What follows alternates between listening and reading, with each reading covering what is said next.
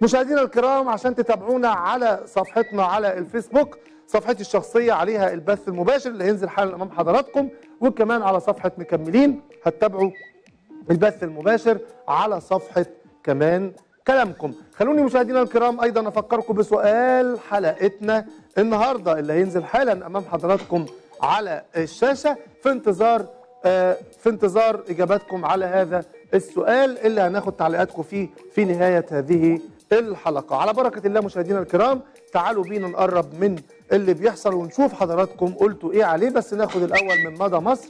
رغم اعتراضات نقابية البرلمان يقر قانون الصحافة والإعلام بمباركة نقيب الصحفيين.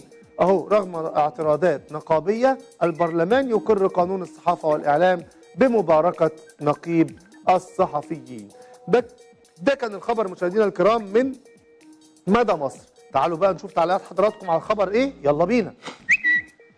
محمود سرحان بيقول بموجب قانون الصحافة الجديد أصبحت حرية الرأي مدفونة للجميع وأصبحت مكفولة للمطبلين. السيسي عبد الفتاح السيسي ما كانش محتاج قانون عشان يحبس أنفاس الناس. بس هو عمل كده لزوم الديكور قدام العالم اللي برضه مش هيحاسبه العالم مش هيحاسبه. بس هو يعني نظام إيه؟ مبدأ عارف أنت الهلال والنجمة الذهبية؟ شعار الهلال والنجمة الذهبية بتاعت المقشات والمساحات والحاجات دي الشيء لزوم الشيء. فهو ده اللي بيتبعه عبد الفتاح السيسي. وطالما السيسي بيحارب الإسلام قصدي يعني الإرهاب اللي هو الإسلام والإرهاب عند السيسي يعني وجهان لعملة واحدة. بس هو إيه؟ يقول لك إحنا بنحارب الإرهاب وهو عمال يدك في الإسلام والمسلمين. فهو مرضي عنه. طالما معلم هتحارب أي حد بيقول لا إله إلا الله وتنشر الرذيلة وتمنع الفضيلة يبقى أنت كده تمام ومرضى عنك من الصهاينة. يلا نروح لمحمود السنهوري قانون تنظيم الصحافة والإعلام اللي أقره البرلمان النهارده بيستثني أي حساب إلكتروني بيتابعه أكتر من 5000 شخص من معاملته كحساب شخصي وبيمنح المجلس الأعلى للإعلام حق وقفه أو حجبه أو اتخاذ الإجراء المناسب ضده عند مخالفة المادة 19 من القانون. يعني من الآخر حسابك عدى ال 5000 متابع فحضرتك مهدد بالحبس. مهدد بقى بالحبس في أي لحظة وبدون أسباب. يعني مش كفاية عليك مارك لا هيبقى مارك والحكومة المصرية. يعني لو نزلت post قلت فيه آه يعني أي حاجة كده. قلت صباح الخير. قلت مثلا إزيكم يا جماعة؟ عاملين إيه؟ الأمن يعتقلك ويقول لك أنت بتقول اف على مين بقى؟ أو كنت عامل emotion كده إن غضبان. غضبان من مين؟ زعلان من إيه؟ قصدك تزعل من مين؟ أي حاجة بقى. تقدر نروح اللي بعده عيد الديب بيقول لك قانون الهيئة الوطنية للصحافة الجديد قضى على ما تبقى من حرية الصحافة بس خلاص.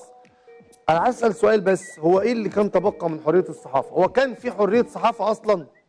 إلا بقى إذا كان حضرتك يا أستاذ عيد بتقصد بتقصد حرية التعريض في الصحافة وتجويد نص التعريض في الصحافة وحق انتقاد رؤساء المجالس المحلية وما تحتهم من موظفين في دولاب الدولة. يلا نروح لحمدين صباحي. قانون الصحافة والإعلام الجديد تعبير عن سلطة عن سلطة تعادي الصحافة والحريات لا تقتنع إلا بالتسلط والسيطرة والحصار. قانون يهدر مبدأ استقلال الصحافة ويدمر المؤسسات القومية ويفتش في الضمائر ويحاصر الأقلام والأفكار في المهد.